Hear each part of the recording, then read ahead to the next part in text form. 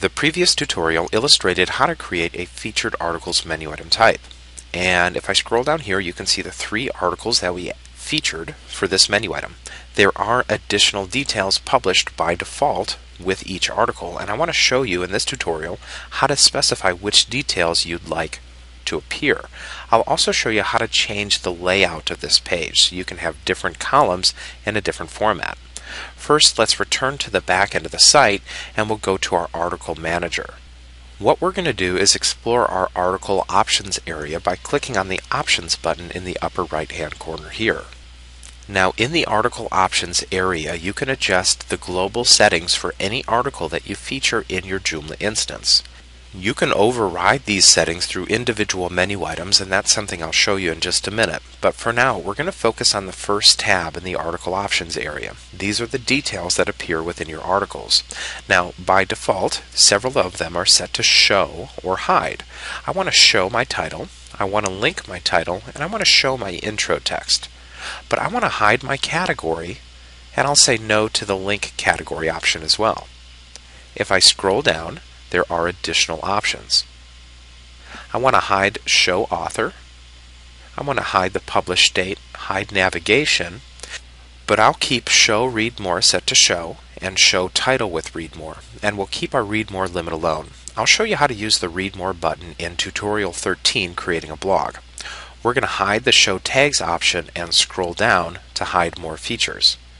Now we'll hide show icons, print icons, email icon and hits. Finally, we can scroll back up and save our changes. When we return to the front end of the site, we can refresh the page and we'll see those details disappear. All of the unwanted details are now gone. However, we still get the details that we'd like to show. For instance, we have the title and the title is still linked. And if I click on the link, the article opens up into a separate page. The next thing I want to show you how to do is change the layout of this featured articles menu item. By returning to the back end, we're going to go over to the blog and featured layouts tab here.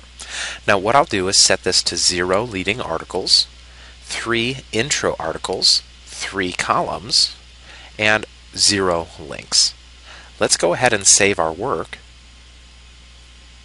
And if we return to the front end, we'll refresh the page and now we can see the content appears differently. Of course, you'll want to go through and make sure that your formatting and layout is set to your specifications. Remember, all of the article options that we just managed were done through the global article option setting, but we can override that through each individual menu item. So let's save and close the article options area and let's go to our main menu. Let's open up that featured articles menu item that we created to show you how you can override that. Go to the options tab here and if you scroll down you'll see all of the same options but notice how they're all set to global. You're using the global setting. Let's change the show author to show here to illustrate how you can override that feature. We'll save our work, return to the front end and refresh the page and we'll see that the author now appears as a detail inside these articles on this menu item only. This won't appear on any other page. In the next tutorial, we'll return to the Module Manager to show you how to create a menu module. But in tutorial 13, creating a blog, we'll return to the article options area to show you how to use that read more button.